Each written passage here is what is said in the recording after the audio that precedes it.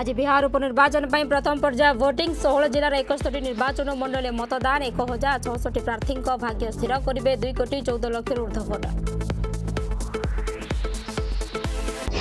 ଆଜି ବିଦାୟ ନେବ ମୌସୁମୀ ଏଥର ଚାରି ପ୍ରତିଶତ ଅଧିକ ବର୍ଷା ପ୍ରଭାବରେ ପାଞ୍ଚ ଦିନ ଶୁଖିଲା ରହିବ ପାଗ ରାତିରେ କମ୍ ରହିବ ତାପମାତ୍ରା ଟ୍ୱିନ୍ ସିଟିରେ ମେଘୁଆ ରହିବ ଆକାଶ ସୂଚନା ଦେଲା ପାଣିପାଗ ବିଭାଗ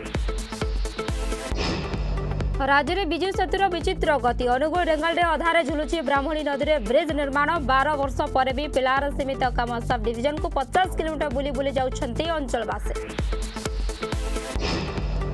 ଚୀନ ହେବ ସାବାର ଶତ୍ରୁ ଦେଶରେ ସର୍ଜିକାଲ ଷ୍ଟ୍ରାଇକ୍ ହେବ ସହଜ ଭାରତ ଓ ଆମେରିକା ମଧ୍ୟରେ ଟୁ ପ୍ଲସ୍ ଟୁ ବୈଠକ ପରେ ବିଇସିଏକୁ ଚୁକ୍ତିକୁ ମୋହର ଜିଓ ସ୍ପେଶାଲ ଇଣ୍ଟେଲିଜେନ୍ସର ଫାଇଦା ନେବ ଭାରତ कोरोना संपर्क में सचेतन कर स्मार्ट मेसीन राजधानी निर्माण हो स्मार्ट कोविड सेफिट कि उसके मेसीन तापमात्रा मापा सह कथा कही मास्क पिंधि को मेसीन देमर्श